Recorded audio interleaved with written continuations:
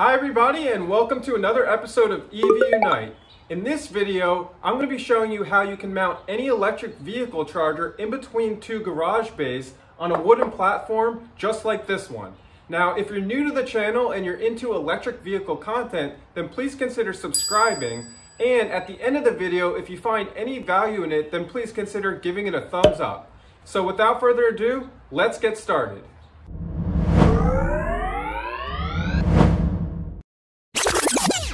So you can see right here, we've got the Grizzl-E 40 amp Avalanche Edition charger mounted on the wall here. And this is actually part of a video series that I'll link in the description below. Now, a lot of people have been asking me about the platform that I have this mounted on, and that's why I wanted to create this video.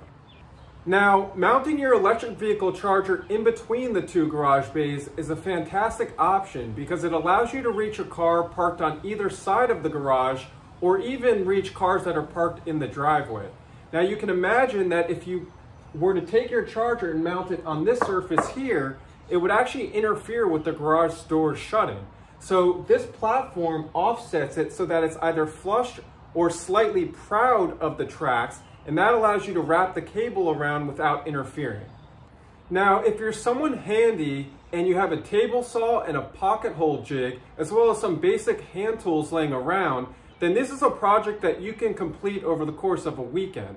But I'm also going to be offering this for purchase, so if you're interested in buying one, then please send me an email at evunite1 at gmail.com, or you could check out our website at evunite.com for more information.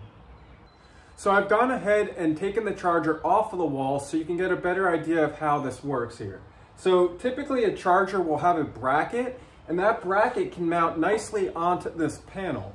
The panel itself is held in position using these eight screws. There's four on either side. Now it's important that this panel is strong because you're going to be mounting heavy duty screws through it to mount both the charger and in some cases there's also separate storage for the handle holster itself. So now let's go ahead and remove the eight screws so you can see what's happening behind the panel.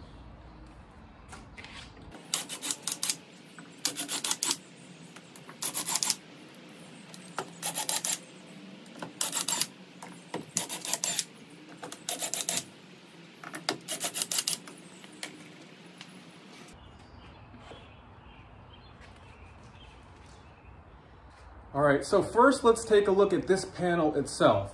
So this panel on the back here, you can see is actually three quarter inch plywood. So there's two plies here and they're being fixed together using pocket hole screws and there's eight of them holding it in the back.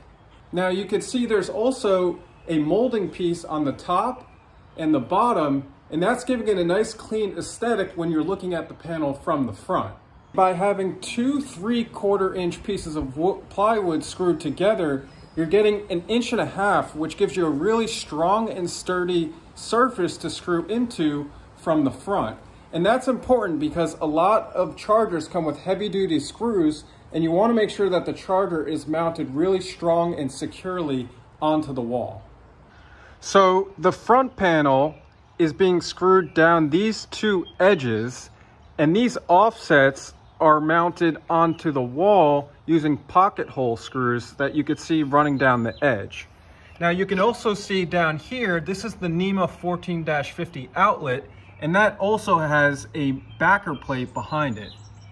It's important that the length of this plus the thickness of the board itself offsets it so that you're at least flush with the track, if not slightly sitting proud of it.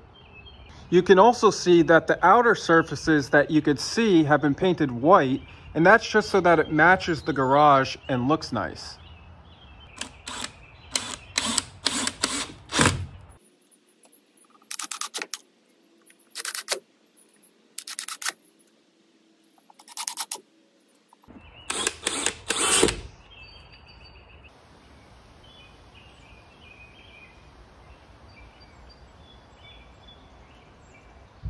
So hopefully this video was helpful to you. If you have any questions or comments, then please make sure to leave those in the comment section below.